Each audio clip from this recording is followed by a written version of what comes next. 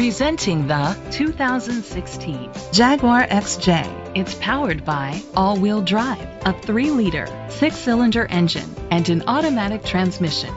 The features include a panoramic sunroof, electric trunk, blind spot sensors, auto-dimming mirrors, a spoiler, an alarm system, keyless entry, rain sensing wipers, independent suspension, brake assist. Inside you'll find ventilated seats, heated steering wheel, leather seats, heated seats, Bluetooth connectivity, digital radio, Sirius XM satellite radio, and auxiliary input, steering wheel controls, a DVD system.